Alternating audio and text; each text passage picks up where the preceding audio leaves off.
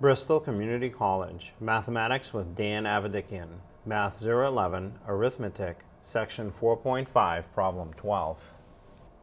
This is Section 4.5, Problem 12. It says translate the sentence into an equation. Do not solve. So we have 7 is what percent of 41?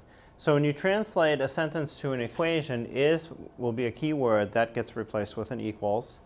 Of is a keyword that gets replaced with a multiplication. So 7 is becomes 7 equals. What percent is unknown? So we use a variable. Some books will use n, some books will use p for percent if percent is what you want to solve for. I'll just use n. What percent is n? Of is going to mean multiply, so n times, and then 41. So 7 equals n times 41.